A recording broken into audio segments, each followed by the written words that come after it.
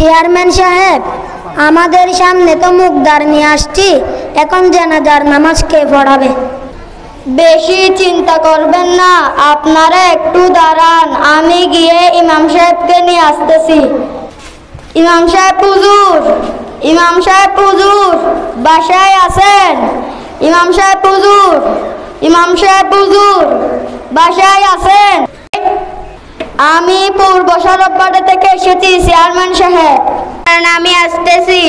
আসসালামু আলাইকুম ওয়া রাহমাতুল্লাহ। ওয়ালাইকুম আসসালাম ওয়া রাহমাতুল্লাহ ওয়া বারাকাতুহু। কি ব্যাপার, চেয়ারম্যান সাহেব? আমাদের এলাকার পার্টিতে একজন মানুষ মারা গেছে। আপনাকে তার জানাজার নামাজ পড়াতে হবে। ইন্না লিল্লাহি ওয়া ইন্না ইলাইহি রাজিউন। আচ্ছা চলেন। চেয়ারম্যান সাহেব, আমি এখন যে ব্যক্তির যার নামাজ পড়াবো, সে কি নামাজ পড়ত?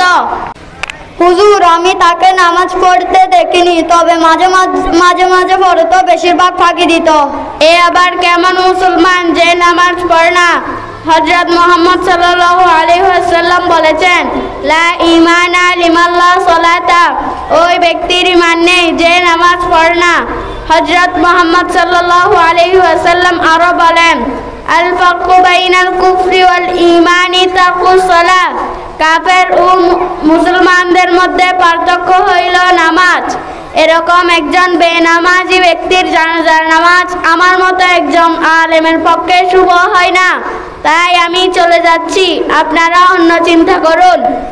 হাই রে চেয়ারম্যান সাহেব ইমাম সাহেব তো চলে গেছে এখন জানাজার নামাজ কে পড়াবে?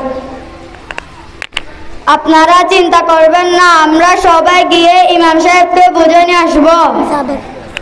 ইমাম সাহেব হুজুর ইমাম সাহেব হুজুর বাসায় আছেন? ইমাম সাহেব হুজুর ইমাম সাহেব হুজুর বাসায় আছেন? কে? আমরা পূর্ব সরবপাড়া থেকে এসেছি।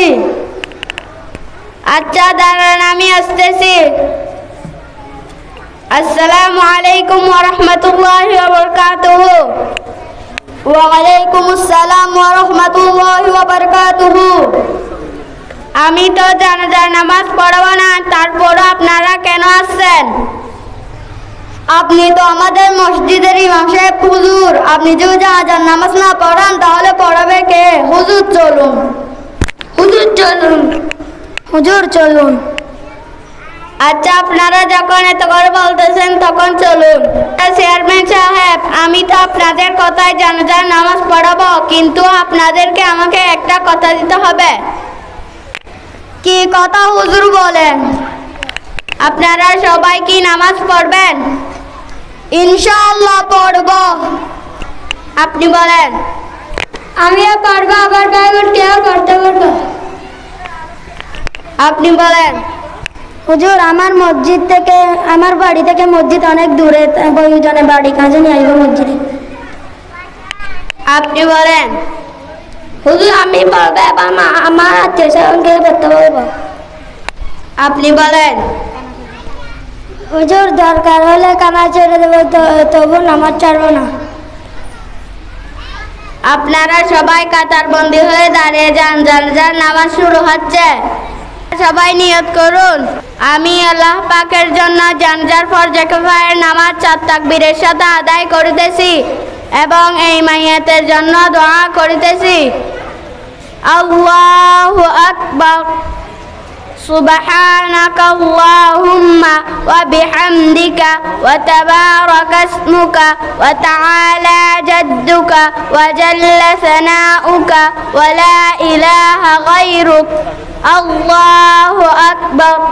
اللهم صل على محمد وعلى آل محمد كما صليت على إبراهيم وعلى آل إبراهيم إنك حميد مجيد.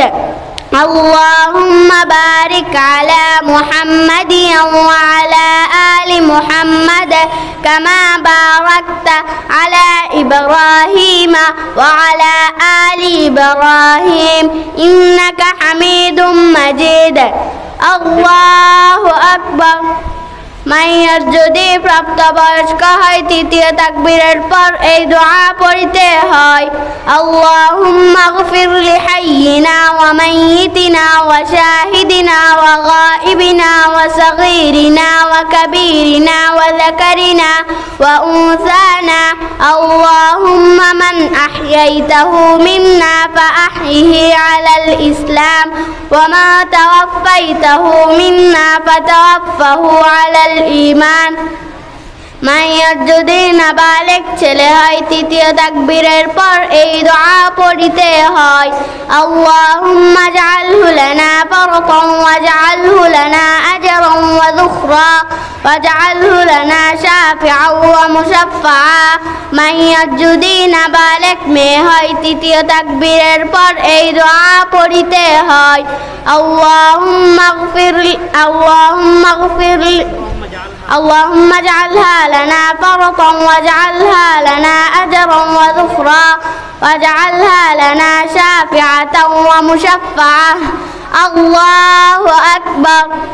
السلام عليكم ورحمة الله. السلام عليكم ورحمة الله.